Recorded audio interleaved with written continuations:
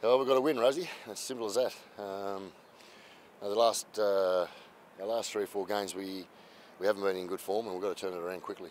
How's training been so far this week? Good. Yeah. No, it's been a um, uh, a good week. They they always prepare well and train well. It's just a matter of um, transferring our quality of um, uh, quality of training into the onto the field, and it's certainly not due to any lack of effort or, or want. It, it's there, but sometimes we can um, sometimes we can try too hard, and all of a sudden your execution, both defensively and in attack, fails you. So we've got to relax a little bit and um, look at our uh, more quality of execution. Jarrod is back this week. He announced earlier this week that he's going to retire at the end of the season.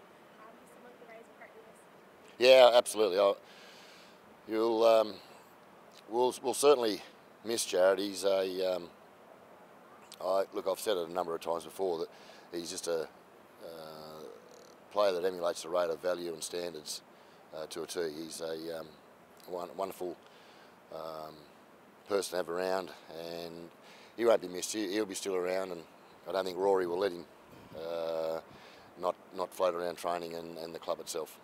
Give this season extra motivation heading into the back of the season knowing that this is last. Oh, that that is a part of it, but you know we don't want to get emotionally caught up in uh, anything but the um, the need and the desire. We we we, we definitely need to play well. Um, that's that's the forefront of our mind. We just got to uh, we've got to execute better than what we have been in both parts of the game.